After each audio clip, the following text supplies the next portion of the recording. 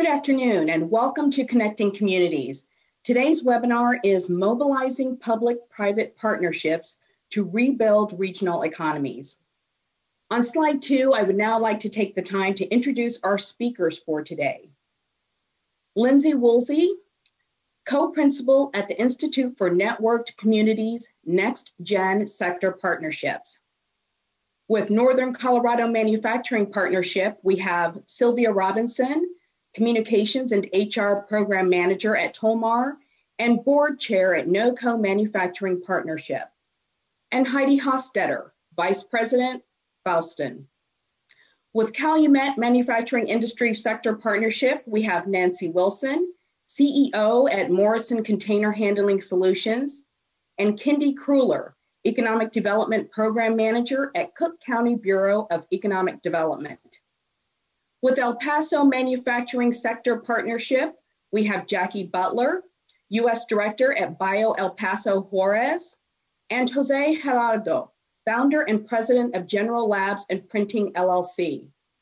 We also have Elizabeth Sobel Blum, Senior Community Development Advisor from the Federal Reserve Bank of Dallas.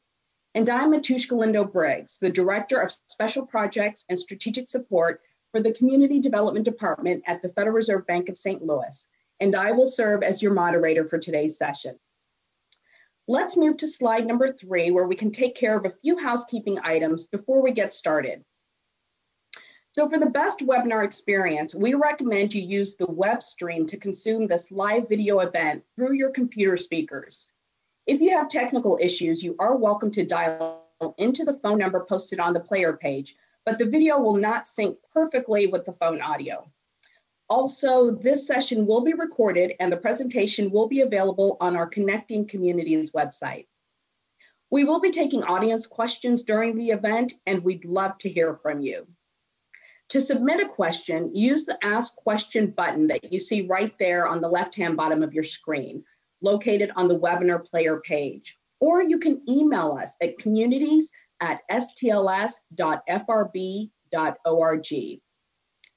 As we move to slide four, I need to go over our legal notice and disclaimer since this is a Fed webinar, which is that the opinions and statements expressed in this presentation are those of the speakers and are intended only for informational purposes. They do not reflect official positions of the Federal Reserve Bank of St. Louis or the Board of Governors of the Federal Reserve System. And finally, our mission on slide five. The mission of the Federal Reserve's community development function is to promote economic growth and financial stability for low to moderate income individuals and communities. You can look at the map to see where your community development team is located. Our work is done through a range of activities from conducting research and identifying emerging issues, developing resources and sharing ideas, as well as fostering collaboration and building partnerships. I would now like to turn the presentation over to Elizabeth Sobel Blum from the Federal Reserve Bank of Dallas. Elizabeth, the floor is yours. Thank you so much, Matushka. Welcome to our webinar on mobilizing public-private partnerships to rebuild regional economies. As regions across the country grapple with what it will take to restabilize and rebuild their economies. The pandemic continues to make clear that there is an inextricable link between our health, jobs, and livelihoods. Some, some regions may be better positioned than others to restabilize under these conditions. Across the country, there are over 80 regional next generation sector partnerships that are working to strengthen their industries and communities. Advising these partnerships is the Institute for Networked Communities, which developed the Next Generation Sector Partnership Model. Here with us today is Lindsey Woolsey, who is co principal of the Institute and Next Gen Sector Partnerships. She and her team advise these partnerships and facilitate a national community of practice. What makes these partnerships distinct is their ability to mobilize business leaders from a single industry, a single sector, and a shared regional economy to work with one another and with a coordinated team of public partners. This session will feature three next generation sector partnerships. They are based in Chicago, Illinois, El Paso, Texas, and Northern Colorado. Their common fo- focus is manufacturing. Each are examples of how activating local manufacturing business leaders to tackle shared challenges can have a dramatic impact on the overall resiliency of an industry as well as its community. Lindsey, the floor is yours. Thank you so much, Elizabeth. Again, I'm Lindsey Woolsey with the Institute for Networks Communities. I'm very happy to be presenting um, to uh, the Connecting Communities group across the country and very, very pleased that we have three of some of our best manufacturing next gen sector partnerships joining us today. So I'll reiterate and echo a little bit of what Elizabeth already said. In this time, this unprecedented time of COVID, we are all in this together, aren't we? But we don't always act that way. Collaboration is hard, and this is something that we know across the country and that we experience every day. But today we'll hear from three very different regions. Again, the south side of Chicago, Calumet, We'll go to northern Colorado as well, and we'll go all the way down to the border in El Paso Juarez. And we'll hear from very different regions who may not have the full playbook yet, but who are absolutely mobilizing business leaders from a single industry sector, and in this case, manufacturing for each of the presenters that we'll hear from today, in a shared regional economy to work with one another. So there are strong business to business networking uh, characteristics of these partnerships that you will hear loud and clear today, but to also work with what can be a very complex array of education, workforce development, economic development, and government players in every region. And so, what we hope you pull out of today's presentation is especially during these times of COVID, how is it that a region can really mobilize together so that their economy is networked in ways that has positive impact, not only on their industry sectors that we want to stabilize and recover, but also for the communities and the people who live in the communities in that region. So here's what I'd like to do. I'd like to give you a snapshot of what is this thing we call next gen sector partnerships anyway. And to help you understand a little bit more of that, we have our flagship video that we're going to play. All you have to do is sit back and watch, and then we'll get to our speakers. So let's go to that video now. Jobs. They're moving pretty fast these days. Most of us know what it's like to feel obsolete in the modern job market or to move away from home to find a good job. At the same time, lots of local employers struggle to find the right talent to make their businesses grow and thrive. It's an unfortunate misalignment, and it's a really big deal. Because if businesses aren't growing and creating quality jobs, the economy suffers. And if people can't access quality jobs, the community suffers. So, what's going wrong here? What explains the disconnect between what businesses need and what schools are teaching? Aren't there a bunch of programs already working with businesses to meet their needs? Absolutely. In fact, lots of groups are trying to solve this problem, except they're doing it on their own. Education, workforce development, and economic development organizations are all talking to businesses. They're running focus groups and holding advisory meetings. What happens is that some employers are over solicited asked to participate in lots of different meetings and boards, while others are ignored entirely. Business leaders get burned out, industry involvement is low, and survey samples are skewed. To make matters worse, conversations with business are often organized around narrow topics like what are your entry level training needs? The result is that we often miss out on the bigger opportunities and needs that are shaping the industry for tomorrow which just so happen to be the topics that business leaders are most interested in talking about. So, what if we were able to flip things around a little bit? What if instead of the public sector pushing their programs and services on businesses, what if we could mobilize a whole industry to team up and engage with public partners to pull what they need from us, building the talent and skills of our local workforce while growing businesses and strengthening the sector? It's called a Next Generation Sector Partnership, and it can transform your region's economy. NextGen sector partnerships are different than traditional sector partnerships in three key ways. One, industry is at the center. Instead of organizing conversations with businesses around programs or grants, business leaders define and champion their own agenda and stay invested as a result. Industry at the center means that literally only businesses are given a seat at the center table. Public partners sit around the outside of the room in listen only mode. Does that mean they're passive? Not at all. It means they give the floor to industry to design their own agenda, and they're poised for collective action as a result. It also means that businesses personally champion priorities. This is important. Next gen partnerships don't advance initiatives unless there are business champions committed to them. Two, they tackle more than just workforce needs. In any growing industry, workforce is likely to be a top priority. But other things matter too, like infrastructure needs, supply chain issues, or access to capital. Next gen sector partnerships tackle all of the above. Anything business leaders agree is important is a priority of a next gen partnership. Three, community support. Next gen sector partnerships are a team effort. Education, workforce, and economic development partners work together to respond to industry needs. It's not about a special initiative or new program. It's a way of working better together. Next Gen sector partnerships work. Across the country, they're having a real impact. Metropolitan and rural areas have made timely changes to education programs at the right scale for the labor market.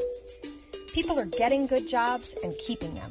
Meanwhile, businesses can hire the talent they need to grow, and they're generating new ideas, new markets, and new product lines because they're better connected with their peers.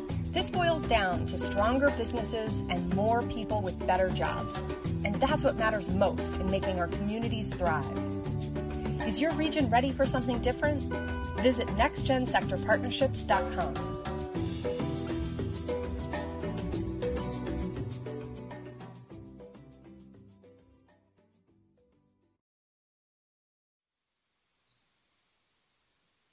Okay, welcome back everyone. This is Lindsey Woolsey again.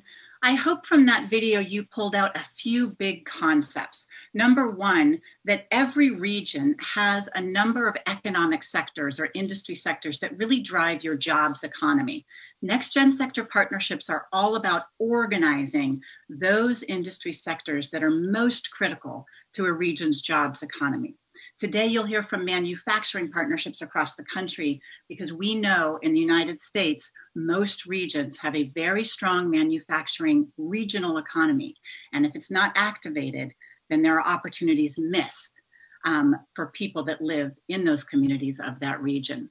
I hope you also pulled out a couple more things that next gen sector partnerships, although they look very different across the country as they should because they are uniquely rooted in the region that they are in. They also follow some pretty disciplined steps of making sure that there is a convener or a coordinator, a somebody who can really um, organize the many, many different partners that must come together and, if you will, wrap around that target industry. And again, that includes the many, many different institutions in education, in workforce development, in economic development, and in government. These partnerships do not just focus on one issue.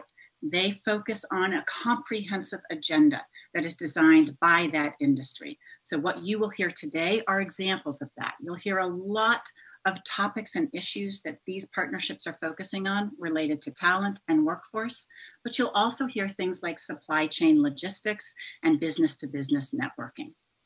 So without further ado, I'm going to introduce in further depth our six speakers from our three different regional manufacturing partnerships. First, we're going to go to Northern Colorado. Sylvia Robinson will be our first speaker She's the communications and HR program manager at Tolmar. And Tolmar is a pharmaceutical development and manufacturing company, again located in northern Colorado. She is also the current board chair of the Northern Colorado Manufacturing Partnership, or NOCO Manufacturing Partnership for short. Sylvia comes to this role after a 25 year career with a PhD in educational leadership she has experience at almost every level of education. So her blend of education experience and her current role in a manufacturing facility and company in Northern Colorado makes her a perfect person to help lead the NOCO Manufacturing Partnership. But joining her is Heidi Hostetter, the Vice President of Faustson Tool. Faustson Tool is a worldwide leader in a five axis manufacturing technology and high precision manufacturing, uh, also located in Northern Colorado. Faustson's team manufactured a key component in NASA's Kepler Space Telescope and parts for the Ball Aerospace US F 35 Lightning II Joint Strike Fighter jet projects. Heidi also plays a very important role with the Northern Colorado Manufacturing Partnership. In fact, she was one of the founding manufacturers. So her history of the partnership will be important to hear from today. Now, before we jump to Northern Colorado, I also want to introduce our other speakers. Nancy Wilson is the CEO of Morrison Container Handling Solutions, located in Glenwood, Illinois. Morrison Container Handling Solutions is a leader in the packaging machinery manufacturing industry, providing custom designed container handling systems, timing screws, and change parts for national and international companies since 1971. Prior jo- to joining Morrison in 2011, Nancy enjoyed a 25 year career at Ford Motor Company in leadership positions ranging from operations to strategic marketing to new business development. She is now an active manufacturing leader in the Calumet Manufacturing Industry Sector Partnership. You'll hear us refer to that as CMIS for short. Her counterpart is Kindy Kruller. Kindy Kruller is the Economic Development Program Manager for Cook County Bureau of Economic Development. In that capacity, she manages urban planning, system and government relationships, and she is the public partner convener of CMIS, again, the Calumet Manufacturing Industry Sector Partnership. And finally, we'll go down to the border to the El Paso Juarez region, and you will meet Jackie Butler, and she is the U.S. Director of Operations for Bio El Paso Juarez, a nonprofit industry association supporting the medical device manufacturing industry in the El Paso, Texas, and Ciudad Juarez, Mexico region. Bio El Paso Juarez is that cross border region's manufacturing sector partnership. And joining her is Jose Gerardo, founder and president of General Labels and Printing, a label and specialty printer supplier company to multinational manufacturers of automotive, medical, food packaging, electronics, industrial, and consumer products, again located within the Juarez El Paso Maquiladora corridor.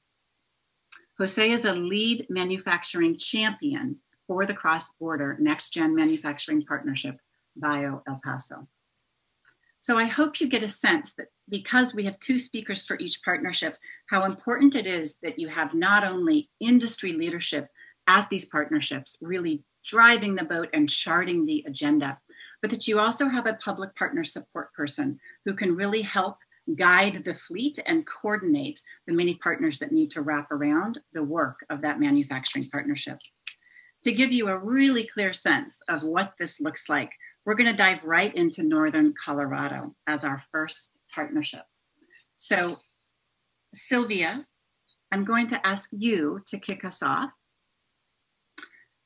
and give us a sense. We have this terrific slide with pictures of lots of activity from the NOCO Manufacturing Partnership, including B2B networking, student tours, parent night, the trade show. So I want you to kick us off just a little bit with what is the NOCO Manufacturing Partnership? Tell us the what and tell us the why.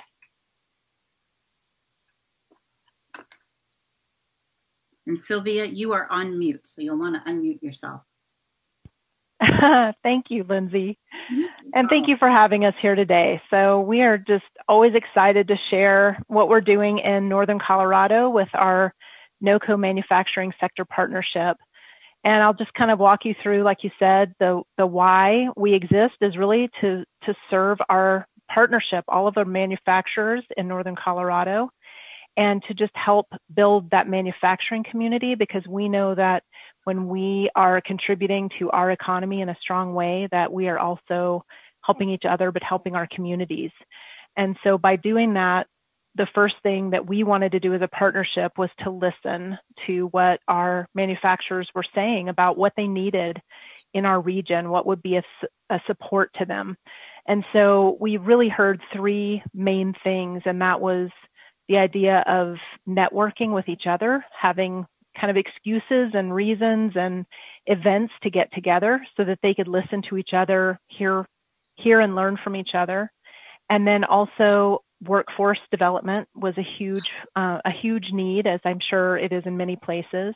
But they, our manufacturers felt like they needed help reaching out to a workforce, growing a talent pipeline. So that is some work that we do in the, that's the main work that we do in our partnership.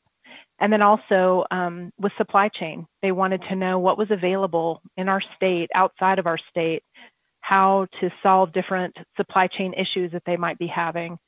Learning that again from each other and um, and trying to network around that issue as well. So the pictures are showing some different activities and programs and things that we've come up with as a partnership after listening to each other about what was needed and so we have things like B2B networking events um, that you can see in that top left corner. Um, we also do student tours and a huge event called Parent Night, where we invite students from all the local districts um, to come and bring their parents with them to tour manufacturing facilities and learn about manufacturing careers and all the opportunities there. You'll see down in the bottom left corner the NOCOM trade show, and that's just a, a huge event that we put on every year that's all around supply chain. And also there's networking happening at that event as well. And also some education. We have a speakers hall where we have um, different speakers who are speaking and teaching about different things that are of interest to our manufacturers. And then there's a regional advisory meeting picture and that is an event that we put together because our um, our members our manufacturers were saying we really want to answer the educators' questions about what kind of curriculum and what kinds of classes students should be getting and what kinds of skills they should be learning in order to have a manufacturing career. But there were so many districts and so many requests for all these different um, individual school or um, district advisory meetings that we just decided to have one big event.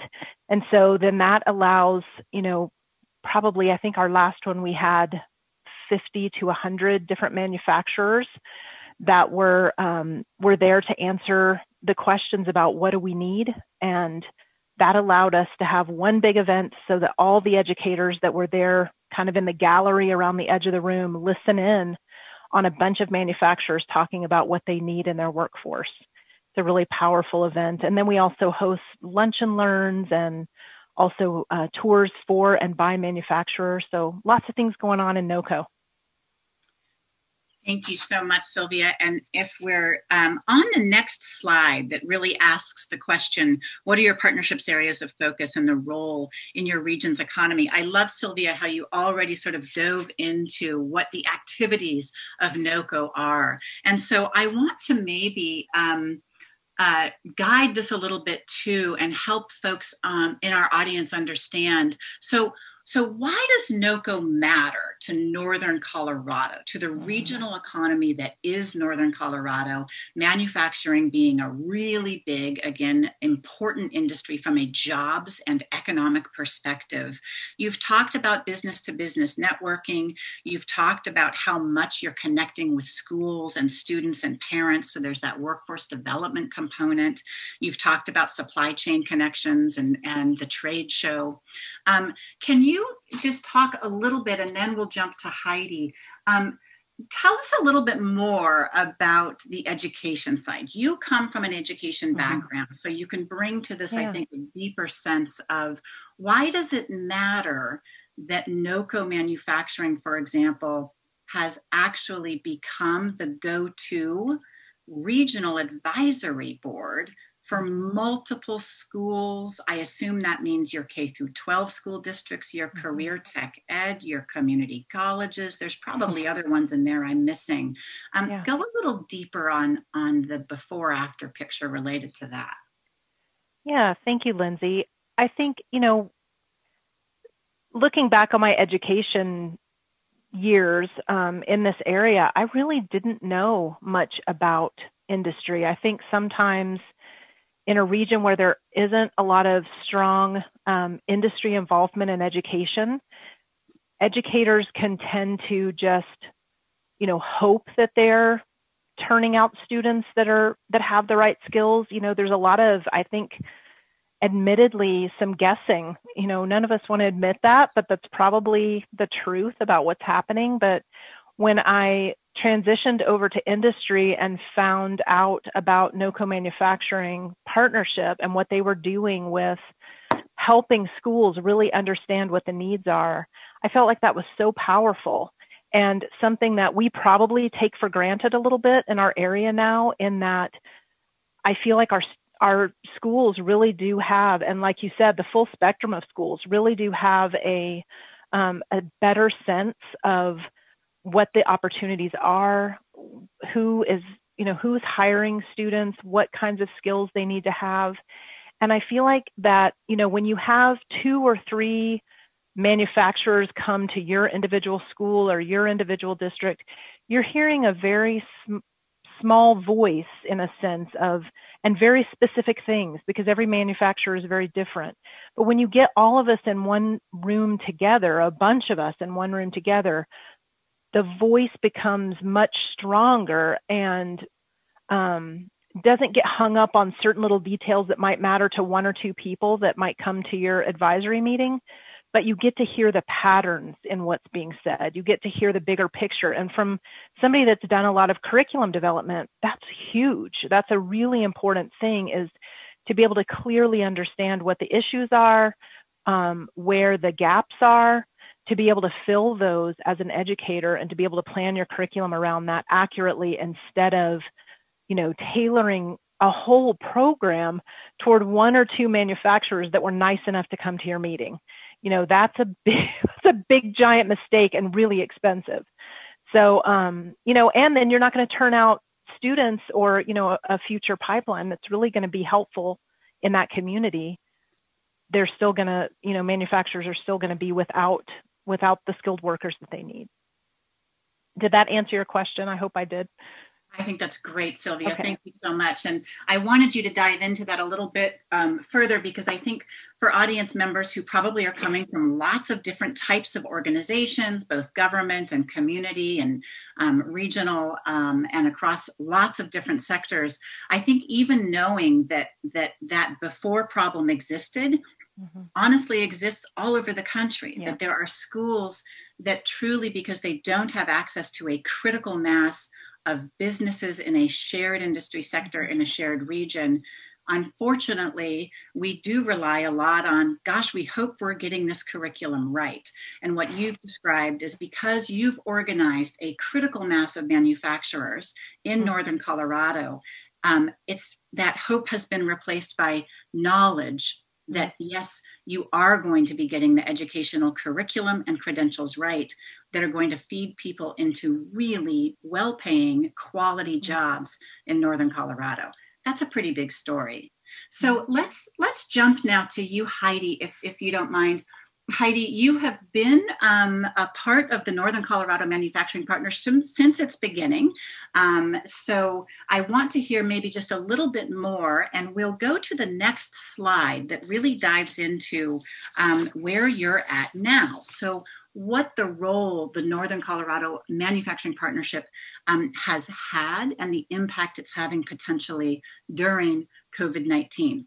Heidi, of course, feel free to please add anything around that early history and the evolution of the NOCO manufacturing partnership that gets you to this point of what you're doing now that's so important related to COVID. Sure. Thanks, Lindsey, for asking. So I think we're seven years old now. Is that right, Sylvia? Yeah.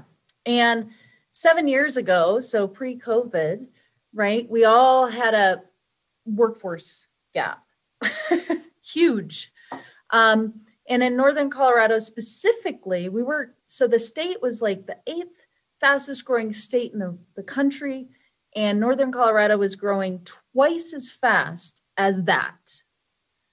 So you can imagine we were just pulling our hair out in manufacturing. And so that really is what became NOCO, a bunch of us leaders in the manufacturing industry really getting together to commiserate.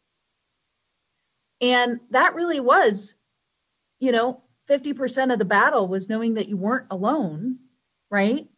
And touching on some of Sylvia's points, really kind of sharing those ideas and having this bigger voice to do something. And we realized there were several, you know, there were legs to that table. We couldn't do it alone, and we couldn't do it without educators and economic developers, right? And so that became NOCO. Um, and if you want me to dive deeper into that, let me know, Lindsey. But really, we became this voice of manufacturing. We wanted to add value. Um, we were all servant leaders, you know, both in our companies and now in our community. Most of the folks that started NOCO and continue to run it, Sylvia and others, are well known within our industry and community um, to dig in and really do the right thing, kind of the heavy lift. So back then, again, pre COVID, we had entirely different issues. When COVID hit, um, we I think we were one of the first states that started the shutdown.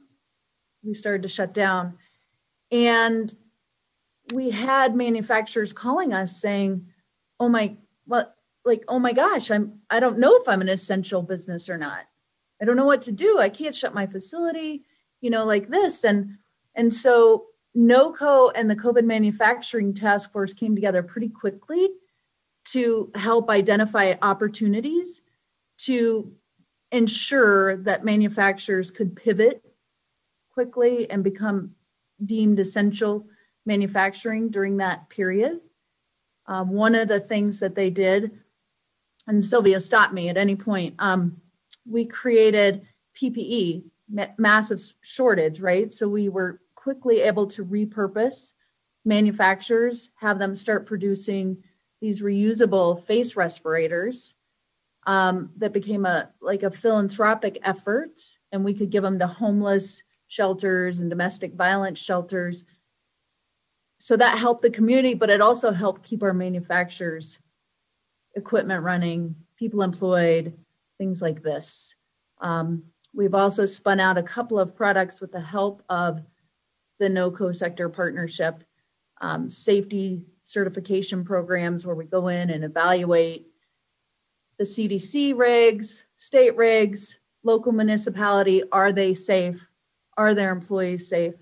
And then we get them certified so that we can transfer that liability to a third party and away from the manufacturer. We've also created a pivot product with NOCO's help. They sit on the COVID manufacturing task force. Again, it's all that one big effort, right? Voice of manufacturing, do what we need to do to support our community. Um, where we're going in and helping people realize maybe the direction their company needs to take if if this pandemic is such that they're becoming their products are becoming irrelevant potentially that's a lot so, so.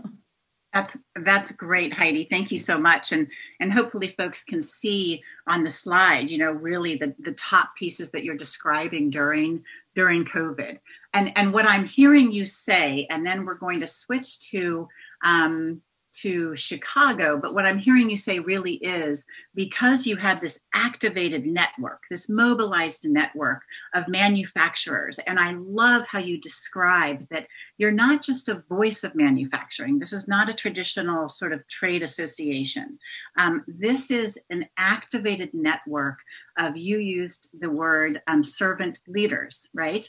Um, of manufacturers who are stepping in and stepping up around shared needs and connecting with the multiple education and workforce and other partners in your region. Um, and what a great example um, of during COVID being able to do that and to pivot very quickly. So thank you, Sylvia and Heidi. Um, everyone on our uh, in our audience, of course, we will have time for Q and A, um, but we are going to now shift. So I'm going to ask Sylvia and Heidi to switch their videos off, and I'm going to ask Nancy and Kindy to switch their videos on. And we're going to travel to the south side of um, Chicago, um, the Calumet region. And so if Nancy and Kindy are ready to go and unmuted, I'll yes. ask you and Heidi to mute themselves.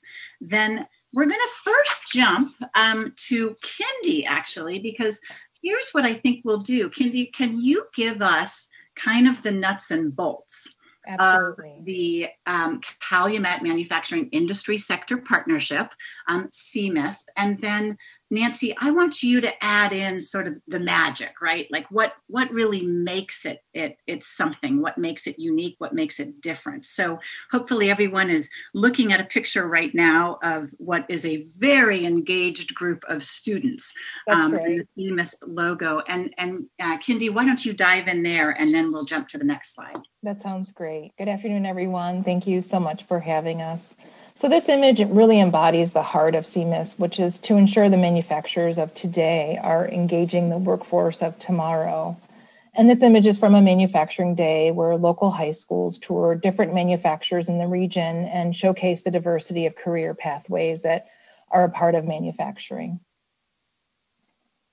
That's great, Kindy. So we'll jump to the next slide and tell okay. us a little bit about your areas of focus. Absolutely. So the Calumet Manufacturing um, Industry Sector Partnership, or CMISP as we refer to it, is a network of over 30 manufacturing businesses in the Calumet region.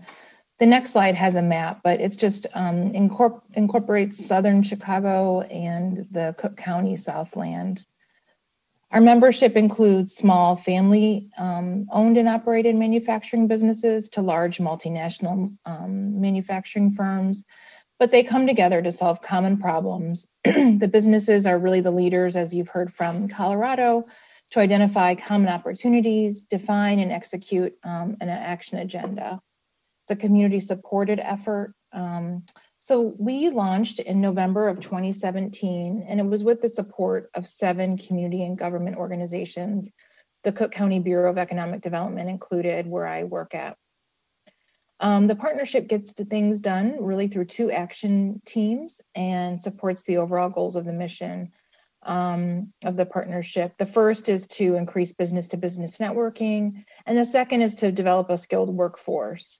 Um, we meet regularly. We um, have just resumed um, our uh, not our in-person meetings, but our um, Zoom calls. So that's been a you know a learning curve for some of us. But um, while we miss being in each other's spaces and learning um, from our different manufacturing sites and the tours that we have and the tours of the schools, we are being very safe right now um, in terms of how we're um, reaching our membership. That's great, Kindy. And I just want to call out a couple things, and then sure. Nancy, I'd like to have you add in. So you you did say it, it's a man, it's a network and partnership of manufacturers. Um, you highlighted small and medium size and family owned, along with some of your bigger manufacturers. Absolutely. I want to really point that out for the audience because quite typically government and public entities really kind of only know how to reach out to the big guys, right? Um, but but CMISP is made up of some of your smaller and family owned, which is a quite different group. Is that correct? Yeah, absolutely. And and I think one of the issues that we see is just um, the capacity of staff um, at these different size and scale organizations and companies. And so making sure that this is a open playing field and an open um, uh, partnership for all of those folks. So everything we do is free. Everything we do is really, again, focused on um, manufacturing and business led efforts. And again, it really just, you know, what folks get out of it um, is just a wide variety of resources, contacts, networks. Um, and and it doesn't, you know, the scale of the company isn't as important as how we can work together.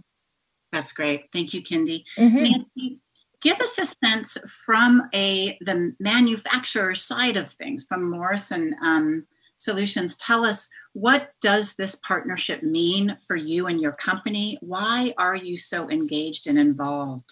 Um, tell us a little bit about that. Sure i'm excited i get to talk about the magic.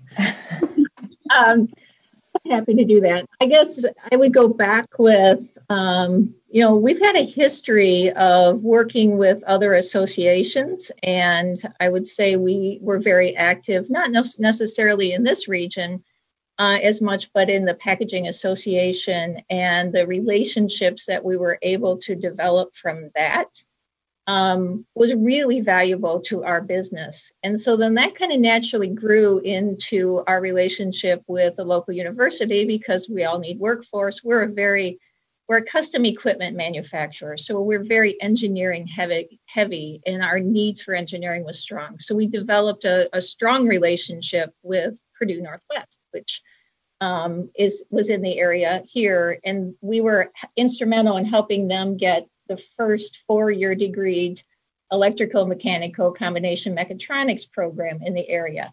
And so we kind of have started this relationships and what's great about relationships. And then I was invited or heard about this the CMIS group. And that really has been an, a really wonderful opportunity for us to get local and to work with local manufacturers because we were kind of national in what we were doing before. Um, bringing this ability to understand who our fellow manufacturers are, our local and our local needs has really been some of the magic for us. And initially we started out and we were working same you know, everybody in the country is working on workforce development you know the, the low unemployment rate we had um, and the needs uh, we had similar meetings with our local schools we actually have two kind of one meeting of or we were having prior to covid one meeting of just manufacturers, and then the next meeting was manufacturers with our local schools, high schools, trade schools. We had superintendents. We had really great partnership going. And it was really helpful for them in the time when they were trying to develop their Perkins 5 grant uh, funding, which would help them with technical uh, schools, which we need. Our workforce development, we need more tech schools. And, and so it all kind of just intermixes and flows together. Um, so we, we were working on that. Uh, we were doing, we did manufacturing days. We did a lot of our meetings we held at different manufacturers so we could do tours of their facilities and we could learn from each other. But really, the magic is the relationship and the relationships that you build with your fellow manufacturers. It's as simple as that. Um, when COVID hit, I would probably fast forward a little bit, but when COVID fit, hit, we had some of the same questions. Oh my God, what am I going to do? We're are we essential workers? Aren't we? We thought we were, and and so just talking with with the the friends that I've made through this association and what we were putting out, and and we found sources for PPE that was scattered out, and we we we knew who to reach to and who to talk uh, with, and I guess that's probably the biggest magic piece that I would say is the power of relationships and the power of learning um, who does what. And that really comes as well with the public partners that we have, because prior to this, I had no idea of all the resources that were available, much less to know who does what and who to go to. And it's still confusing to me. And I always used to call it alphabet soup when they would introduce themselves at the meeting because they all use initials. And I don't know what they mean. I'm learning. Um, but one of the things that we've worked into our meetings is just a presentation from each of these public partners at the meeting so all the manufacturers can say huh maybe i can use this or i know someone who can so there's just been a lot of growth and a lot of learning that we've done over time um, but it, it really comes down to relationships understanding how we can work together to help each other um, i have a long list of things that we did through covid covid was a really really scary time um, it's not that it's not scary now, but but back then it was really scary. What do we do? How do we keep our workers safe? Where did you find masks? How how how are we going to continue operating? And my business, um, we were in, incredibly impacted with COVID because you all remember when the grocery shelves were empty. Um, we make equipment that allows uh, people to package for grocery shelves ourselves. So we were able to implement that very quickly. And the other thing that we did, Thermo Fisher um, partnered with us and we started designing and developing uh, manufacturing COVID test kit equipment. So talk about a pivot in a major crazy time. but the relationships that we had with the manufacturers around us uh, enabled us and helped us be able to. Fantastic, Nancy. I really appreciate that you transferred over to that question of, of what has been the role of CMISP during COVID. Here's a couple things I'm hearing, and then Kindy, I want you to just put a final bow on the COVID yeah. piece for us before we go down to the border. But here's what I'm hearing, Nancy, is that very scary times, obviously, for manufacturers. Am I am I going to have to close my doors? Um, but because you had a go-to network of local manufacturers, you were able to um, get the PPE you needed, share best practices around safety for workers, um, make the supply chain connections, understand how you could fill gaps. I've heard you say before, um, it just took the scariness out of it, um, and and and we're marching right along. So to have that go-to network seems quite important. And not just the network of manufacturers, the network of manufacturers and the public partners. The public partners were really key in this. I mean, they were they helped us list some of the sourcing of this, and and they had information and availability on PPP and things like that. So it's it was it's the relationship that you build with both that was just so instrumental. Thank you, Nancy. Kindy, will you put a bow on that for us? Sure. If are we looking at the last slide? Should I walk through that? Do we have time? We're we're on the COVID nineteen. Okay, so this is where, as Nancy, you know, alluded and and to in in some instances and said directly in others, you know, COVID has been just an, an incredibly scary time in many parts of the country, and we were just um, very um, uh, directly impacted in Cook County. I just wanted to share some of the graphs. Um, well, you have a site map to the right um, that shows the buff colored map of just a location map that I thought that would be helpful just to understand our geography um, within um, the Southland of Chicago.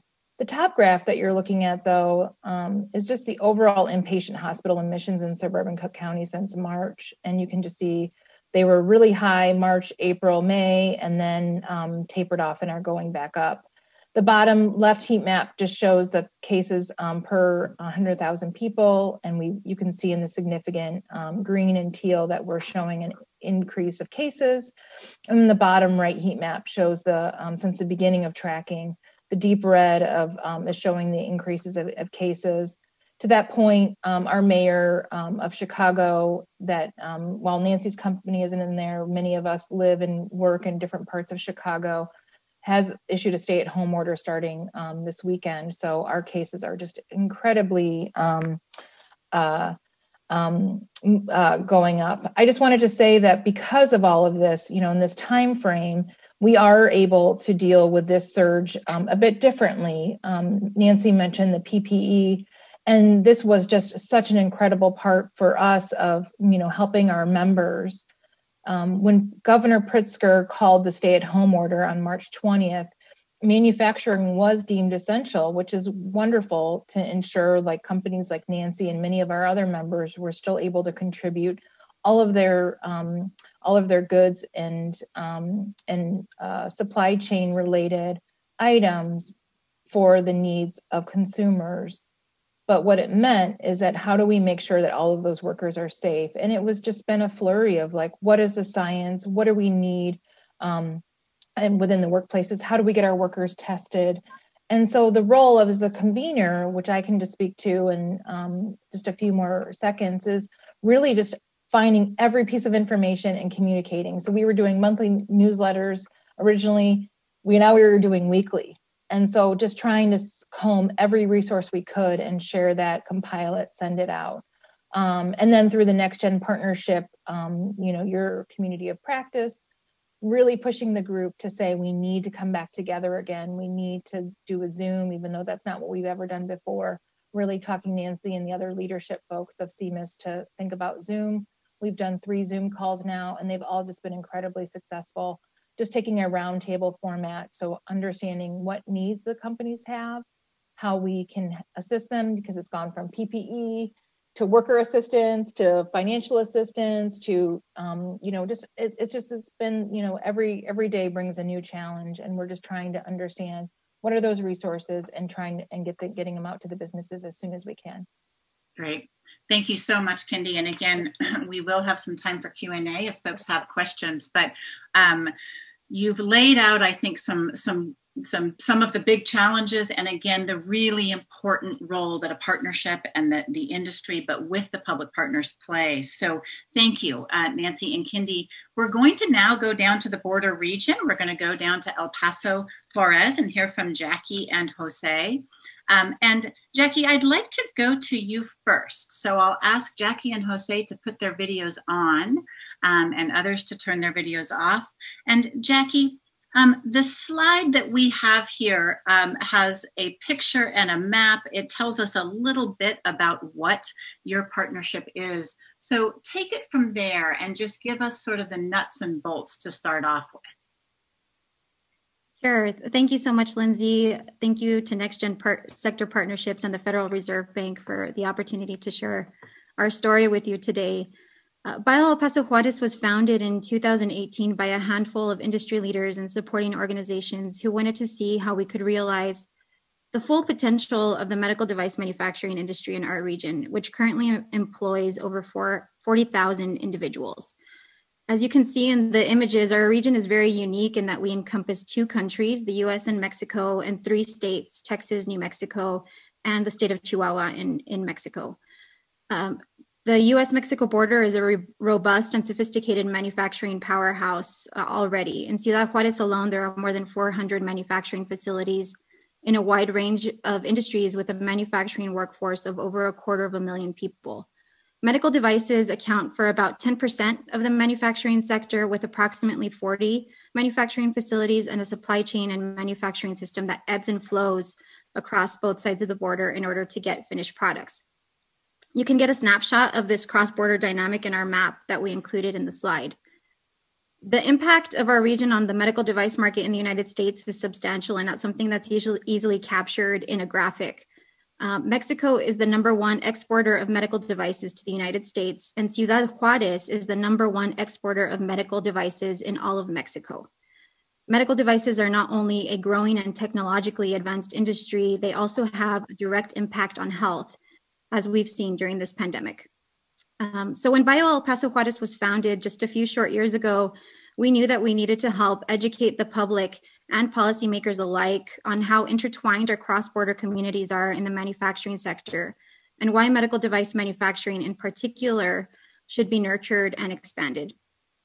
As we began structuring our organization, you'll see in some of those graphics, we were very intentional about what our membership and partnership structure should look like and knew that we needed industry, public sector, and the nonprofit sector at the table in order to make any meaningful impact.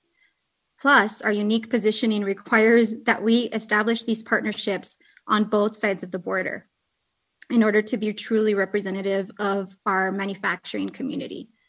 So we've spent the last several years developing these relationships and partnerships. Gaining trust amongst our industry partners has been key, and and then developing our strategy. Um, so so one of our strategy um, and industry partners and action plan champions, Mr. Jose Gerardo, um, is going to share with us more about the priorities that we've put in place and how we're working towards those to accomplish our mission.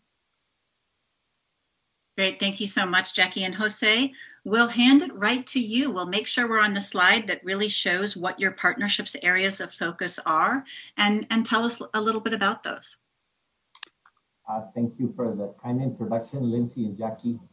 Um, yeah, please allow me to begin with a brief remark that will acquaint you with these collaboration efforts. Um, last year, the consulting firm uh, Grant Thornton conducted a binational ecosystem mapping project in which several key areas were identified as priorities for further development so that I, our binational region could be competitive and have the necessary resources to compete with other medical clusters around the world for the attraction of research, developing, development, and manufacturing of medical devices in our region.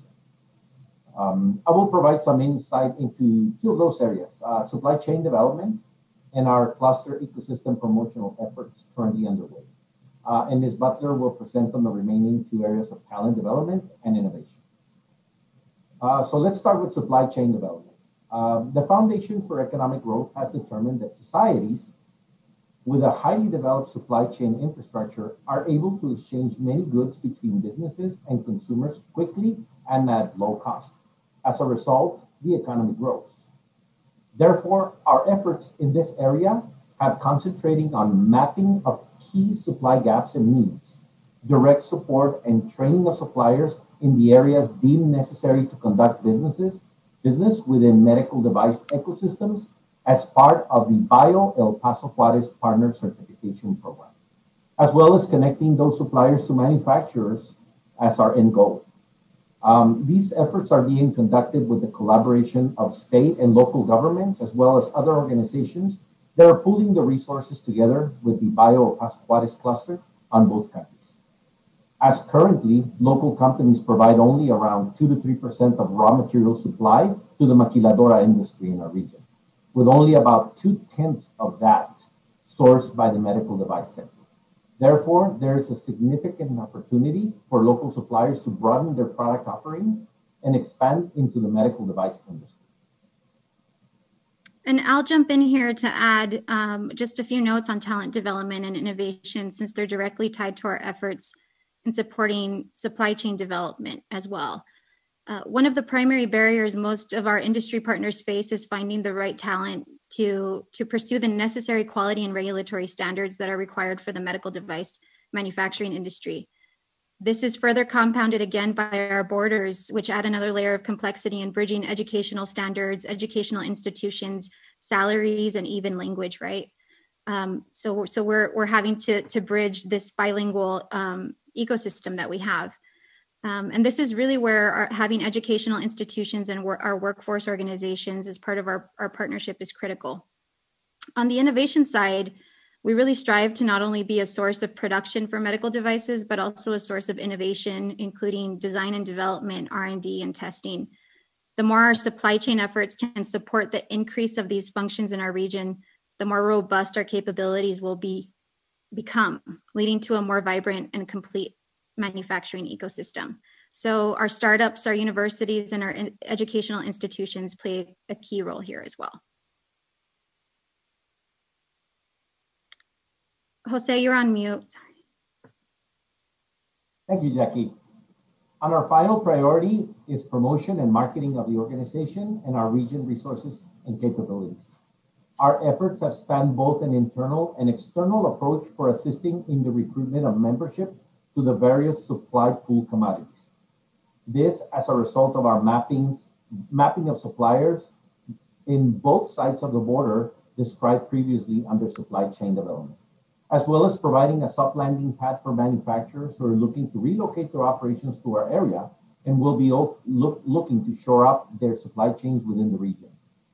And through the advocacy for industry trade shows that are now going virtual, that will allow to tour, meet and greet, both vendors and manufacturers in a virtual workspace through the incorporation of an in reverse exhibition approach, the first of which will take place this December, will allow us to develop opportunities for interaction on a global scale.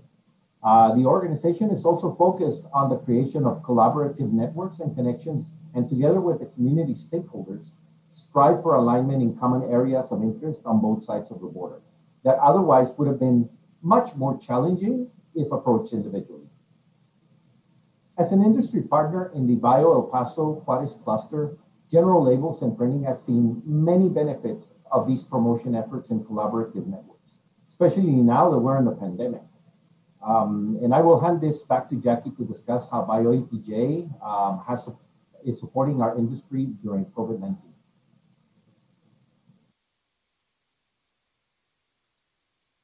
So, so, so Lindsey, if you don't mind, we can move on to, to the last slide here to talk about how our region and our, our partnership specifically um, has, has worked to respond in this new COVID-19 environment.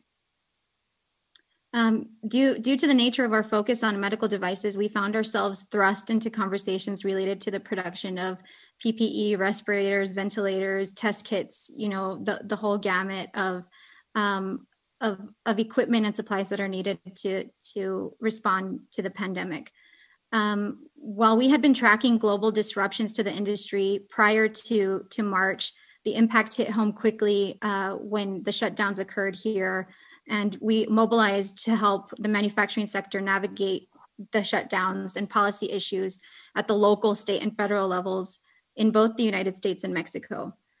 All of the foundational efforts that we did over the last several years to connect the medical device industry on both sides of the border placed us in an advantageous in, in an advantageous position. We we feel um, to respond to the emergency needs of local healthcare providers and inform government on a binational level. Um, through our COVID 19 response task force, which uh, got together really quickly and was made up of all, all of our partners across the spectrum, um, we help to connect resources and align strategy at the production and distribution levels to secure life saving resources for our community in both El Paso and Juarez. Um, in our response efforts, we reprioritize collecting data and connecting the industry in their efforts to boost production or shift production to COVID 19, um, as some of our other um, uh, guest speakers have mentioned as well. We applied for our local CARES Act funding to assist those manufacturers and suppliers who were entering the medical device sector for the first time or um, also those who are negatively impacted by COVID 19. With the help of this funding, we've been providing ISO and quality standards training and assistance to 16 local companies, most of which have operations on both sides of the border. This training and assistance um, is, will help to integrate these 16 companies into the local supply chain for medical devices, uh, which feeds into our overall priorities and strategies for the for the organization um, and also help to develop more locally sourced PPE, medical devices, and equipment for our region as we continue to battle COVID 19. Um, I'd just like to end by saying that um, uh, a couple of things about what we're doing programmatically. So, we have shifted to all virtual programming for our members and our partners in the last seven months since our shutdown occurred. Um, initially in March, we've hosted over 10 virtual webinars ranging in topics, but mostly related to COVID 19. Uh, we've held over 100 meetings with our members and our partners. That's including board meetings, task force meetings, and action team meetings. Um, and are hosting, as Jose mentioned, our annual summit virtually and including a trade show component. Um, and I'd just like to wrap up our comments by saying that even with all the work we've done to boost production of PPE and help our healthcare community respond to COVID 19, the pandemic is still surging and paralyzing our community today. Um, El Paso is in the headlines once again uh, for, for our skyrocketing um, COVID 19 numbers. We know that viruses don't respect borders, um, especially when it, with, within a dynamic ecosystem and cross border economy such as ours. Um, this only highlights the importance of having a cohesive binational partnership that can address challenges at the local, state, and federal levels as issues and emergencies arise. Um, we're going to continue to work with our partners at all levels to support both the necessary measures to control the spread within our community, as well as the continued production within our manufacturing sector of medical devices and PPE to help the, the world combat COVID 19. Thank you so much, Jackie and Jose. Really, I think your story is such a, an incredible bookend um, to the panel, precisely because you are correct. We are seeing in the headlines that there is a surge um, in El Paso, and we know that that's happening nationwide, just staged in different places. Leave it to an invisible virus, right, to make visible the networks that underpin our daily lives. And hopefully, everyone today has really heard heard the story loud and clear of partnership networks. Um, Jose, you used the term ecosystem. Um, I think the big takeaway, I hope, truly is how do you get a critical industry organized enough, networking enough, so that it is enough of a draw for the many, many different public partners in a region to also coordinate and get organized. So, with that, um, panelists, I'm going to ask all of you to turn your videos back on, um, and we have some time left for questions here. So, Matushka, I'm going to hand it back to you um, to walk us through the Q&A. Thank you, Lindsey. Uh, as a reminder, we are taking questions from our participants today. To do that, please submit them asking the Ask a Question panel that's on your screen. You can click on that button. You can also email us at communities at stls.frb.org. I will ask our panelists to remain on mute unless they're speaking to prevent feedback. So let, us go ahead and start with our questions here. Um, the first one's for Sylvia and Heidi.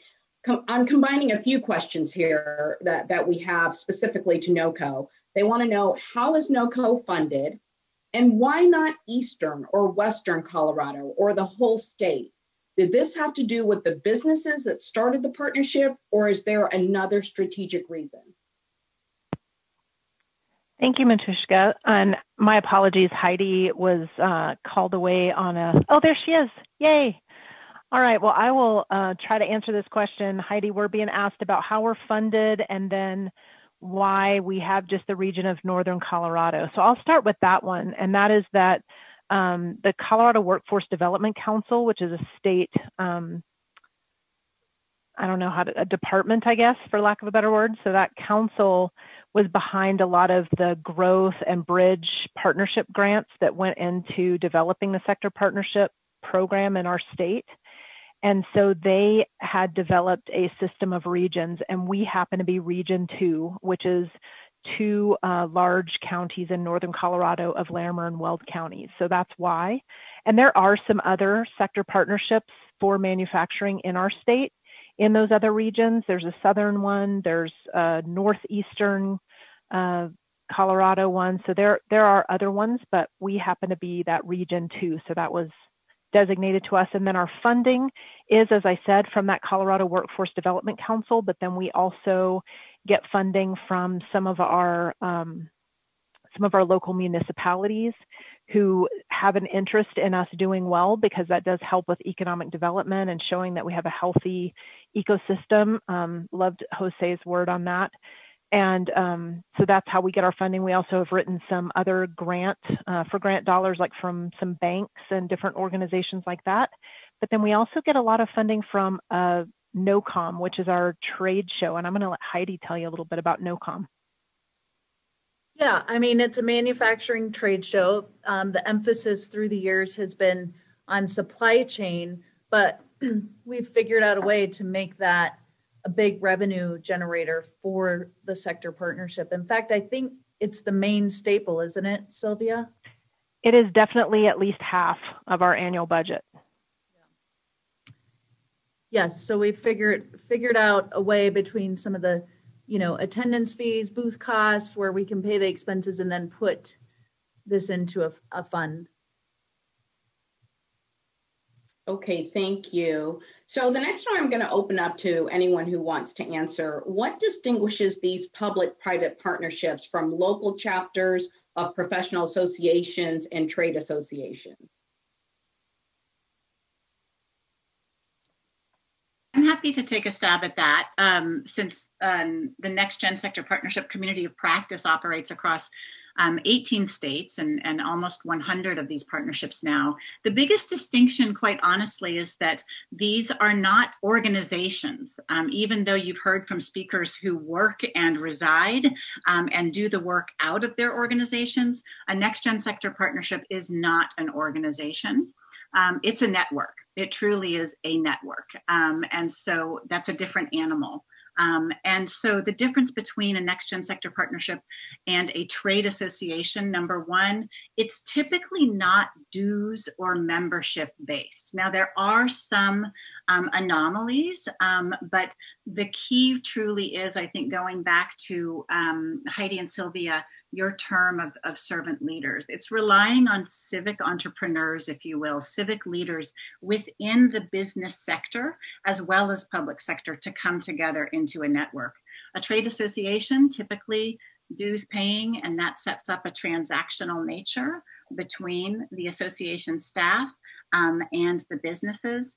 Um, whereas a next gen sector partnership is very much a partnership um, transaction, not sort of a vendor um, staff um, uh, and, and member transaction. Those are kind of the biggest differences we see across the country for what it's worth. Thanks, Lindsey. I think that's helpful on clearing that up um, for our listeners. Has any of the partnerships considered worker ownership training as a viable strategy, especially working with youth as they enter the workforce?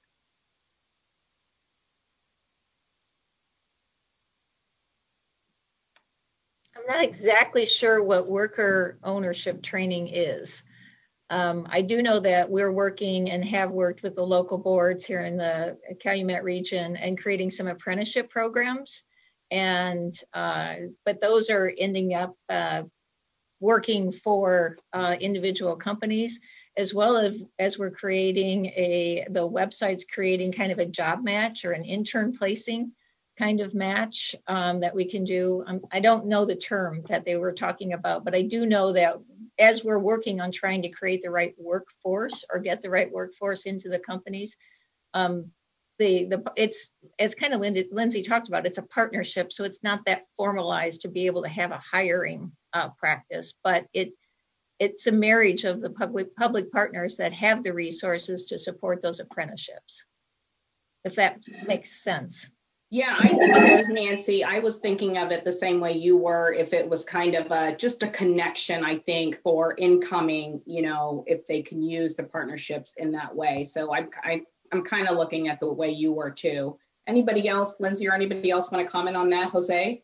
Uh, yes, Matushka. Um, I would like to ask uh, Jackie uh, to chime in on this and uh, ask her to give us a description of precisely a program that our company is participating in, but she can expand a little bit on how we went from uh, idea to actual uh, action on on the TMAC um, partnership, Jackie, that we have uh, for these 16 companies. Would you like to expand on that? Yes, happy to. Thank you, Jose. So, so I mentioned that we received some CARES Act funding to provide ISO um, training and implementation to uh, a handful of manufacturers in our region.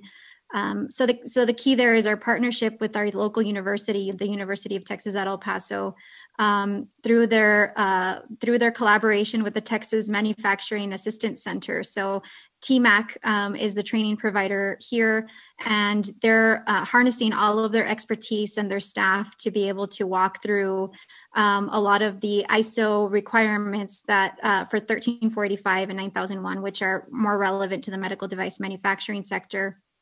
And they don't just stop at the training. So we provided, um, um, let's see, four training sessions so far, which require a commitment of at least 16 hours per training session for these companies. But then we're on the ground virtually with them, um, helping them to go through the auditing process for ISO certification. And so um, this is a this is an opportunity for us not only to engage employees that aren't generally engaged in the quality management systems for the manufacturing um, facilities themselves, um, but really to help the manufacturers um, get get more of their their staff trained, um, especially now while a lot of them are operating on on skeleton crews or downsized um, uh, workforce and and may need more of that quality support that they didn't have before.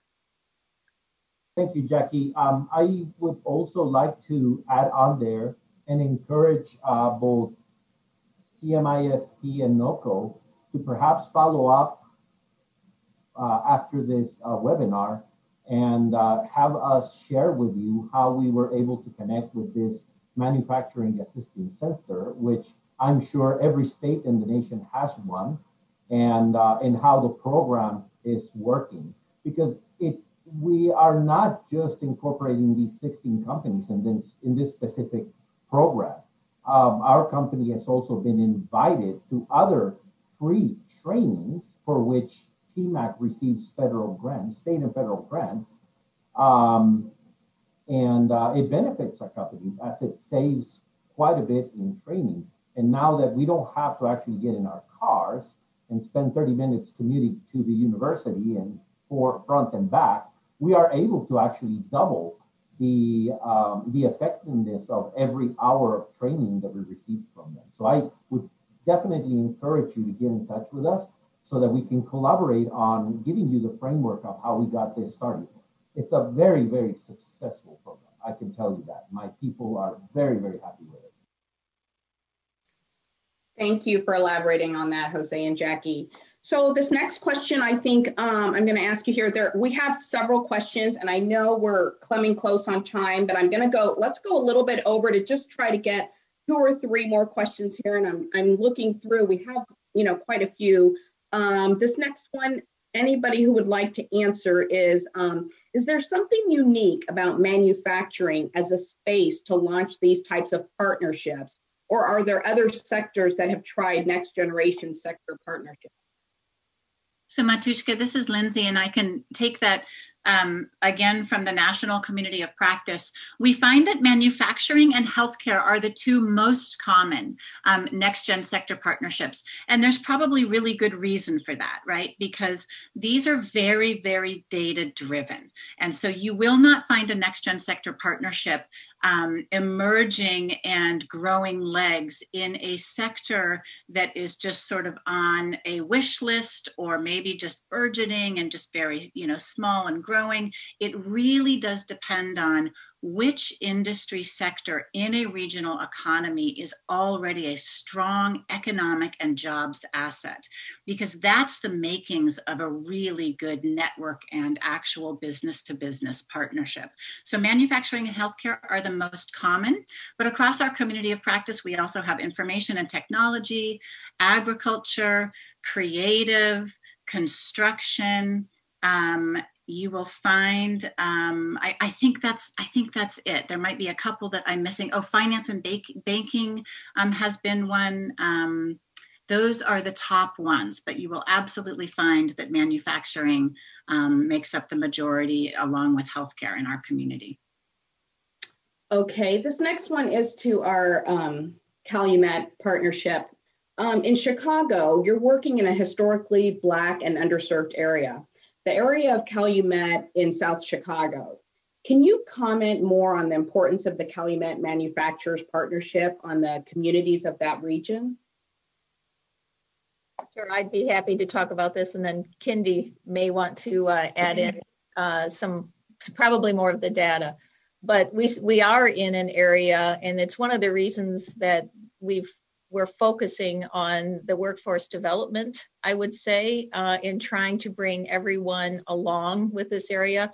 Cook County, as a uh, county, has the southern part has not come anywhere close to keeping up with northern Cook County when it comes to economic growth. So we know we're in an area that really requires a lot more focus and attention. There's been other efforts um, that that are working on this. The manufacturers here, though, the shared interest that we have uh, in, in keeping this, you know, one, one of the gems we have is we have great infrastructure. We have we have a lot of traditional manufacturing here. So, or, or capability, I should say here. Workforce is probably the biggest need that we have, and that's why we're working on the education side and trying to develop workforce to be able to help us grow um, it's an issue that we're we're really finding that that we have to work on. And, and and you're right, we're we are in an area that is definitely behind economically, um, but that has its advantages too, I guess. I would just say, um, from the standpoint of Cook County and the lens that we will bring to equity and um, racial justice and other um, opportunities to engage a wide variety of communities, um, diverse communities throughout suburban Cook County, is just a, a, huge area of importance for President Preckwinkle, for the Bureau of Economic Development, and all the departments within um, the county. So one of the things and as a convening member of CMIS is we're able to bring all of those resources, the data, as Nancy mentioned, and be that convener and, and really lift up that um, both the need, some, you know, bring some ready solutions, bring some funding, bring programs. And so ensuring that we're able to both um, connect with the jobs, apprenticeships, um, uh, training institutions, community colleges, et cetera. So it really, the, the I think that's where CMIS really has a lot of value in thinking about what this partnership and ecosystem can do and how we can work together to lift up these communities and identify solutions. Um, I we could Nancy and I could probably give a talk on this one all day because you know there's a lot of resources that have been created because of this, um, and I would be happy to share those um, at you know if you want to contact me. Yeah, I and I just would echo it's kind of what I talked about before. This is a partnership. There are a lot of different resources that are available that right. CMIS crosses boundaries with. The Southland Development Authority, right. uh, President Preckwinkle kind of funded and, and helped us get that going. a lot of effort that's put there that CMIS just complements the, the, the, relationships. And, and again, going back to the resources that are available from the public partners that I think manufacturing down here didn't necessarily, I know we didn't necessarily know were available. Um, that's one of the values of, of this is just getting that information out so that we can help grow this area. Okay, thank you, Kindy and Nancy. Um, let me try to get um, one, if not, I'm going to try to get two questions in, but we're running really tight on time. Um, Jackie, can you describe how you activated, create, buy local resources supporting local manufacturing efforts? Absolutely. Uh, so, so you know, following the the mad rush to try to figure out who was producing what, where PPE was available, that I think the whole world experienced uh, between March and um, May, mostly. Um, we really took some time, and we had a board member who who volunteered her time um, to gather all of the resources related to um, any manufacturer in the region who was developing PPE, what they were developing, what types. So, you know, there's different types of masks and different types of um, uh, different types of materials that are used and um, various grades of those um, PPE. So she she took the time and she put together a database basically that that outlined um, where people could source PPE. And we did have to go outside of the region. So anyone in our networks, um, we, we, we put that into the database.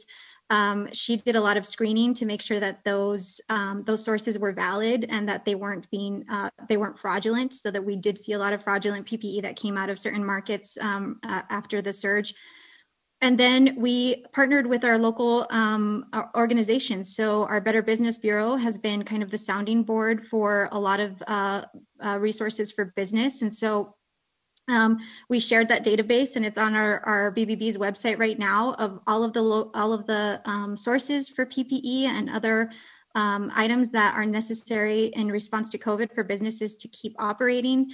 Um, we highlight those who are locally produced so that hopefully people, if they have the option, they can support local businesses. And we have all of the um, contact information, um, um you know, minimum uh, quantities that need to be purchased, pricing information, as much detail as we can. And then also on our website, Bio Paso Juarez, um, we have a, a full page on COVID-19 and we highlight local manufacturers of PPE there also as an additional resource to the community.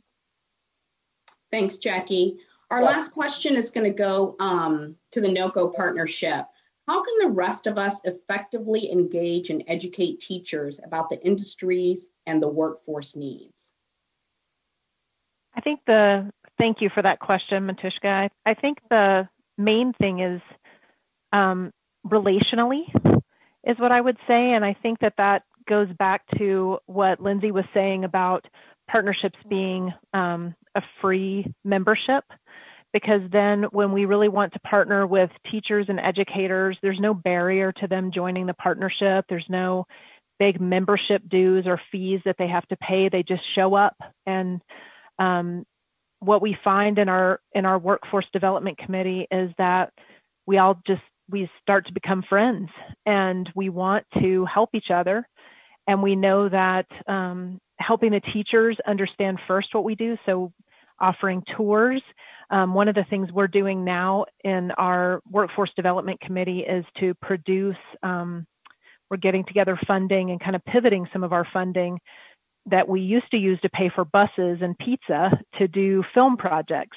Um, and for the manufacturers that are comfortable allowing us to bring a small film crew in and film a virtual tour, and then we're hosting those up on a Vimeo pay uh, Vimeo site for those teachers to access for free, and then also at the same time uh, filming what we're calling career talks, where we invite manufacturers to talk about their careers, how they got there, what their career path was.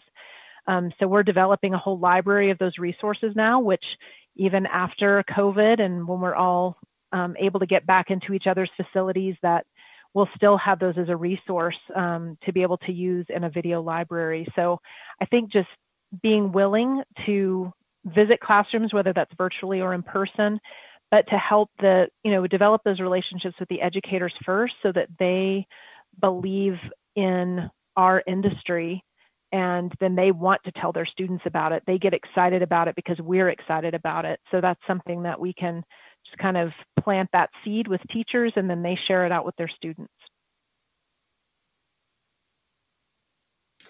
Thank you, Sylvia. Well, we went a little over time, but I think it was just such great information. I just wanted to get a few more questions in. Uh, I'd like to thank all of our speakers today for sharing their time and expertise with us, as well as all the participants that joined today for our discussion on mobilizing public-private partnerships to rebuild regional economies. I'd also like to say if you'd like to find out more and talk to Lindsey, um, you can go to the website, which is www.nextgensectorpartnerships, all one, all together, no spaces, www.nextgensectorpartnerships.com backslash. So a few reminders, we will have a recording available with an audio file on the Connecting Communities website of everything that you've seen and you've heard today. Um, we'll also have a PowerPoint that will be on there for you to look at the PowerPoint. Um, we also welcome ideas for future recordings. We just shared a survey link if you joined us in the webinar, and this same link will be distributed via email in a few minutes. So we appreciate any of your feedback about today's session. We'd love to hear from everyone. So I'd like to say thank you for joining us. This concludes today's Connecting Communities webinar. Enjoy the rest of your day.